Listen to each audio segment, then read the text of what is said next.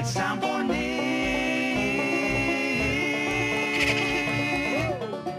And it's Possum Picks.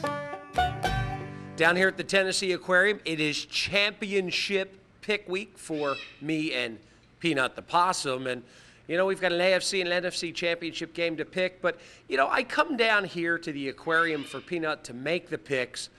But, you know, when it comes to the picks, I don't know if he's the guy. You know, I'm looking at this sign. Whose backyard is it? I think when it comes to the picks, it's my backyard, Peanut, and you're going down. So let's get ready to go here. Hold on. Why are you in a cage? Oh, I understand. Your possum harem is bringing you to the picks for the playoffs here. Very nice, Peanut. First up, AFC game. Patriots Ravens. You like the Patriots. I'll take the Patriots too. NFC game. 49ers host the Giants. You like the Niners. I'll go with New York. That's what we'll do. Let's recap this thing. Peanut and the harem take the Patriots and the 49ers. Nick by himself takes the Patriots and the Giants. I need to become a possum.